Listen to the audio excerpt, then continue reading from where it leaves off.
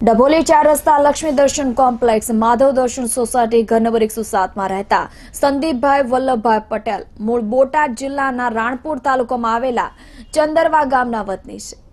સંદીપભાઈના ઘરે ત્રાટકેલી અજાણી સ્ત્રી બંધ મકાન દરવાજાનું સ્લોક પર ખોલી ઘરમાં મૂકેલ સોનાની વીંટી જેની કિંમત રૂપિયા આશરે દસ હજાર. રોકડા છ હજાર નવસો મોબાઈલ ફોન જેની કિંમત રૂપિયા અઢાર હજાર.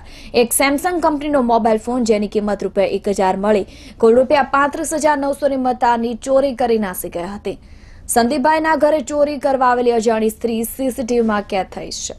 આ ચોરીના બનાવ અંગે સંદીપભાઈએ ચોક બજાર પોલીસ મથકમાં ફરિયાદ નોંધાતા પોલીસે કાયદેસરની કાર્યવાહી સાથે વધુ તપાસ શરૂ કરી હતી.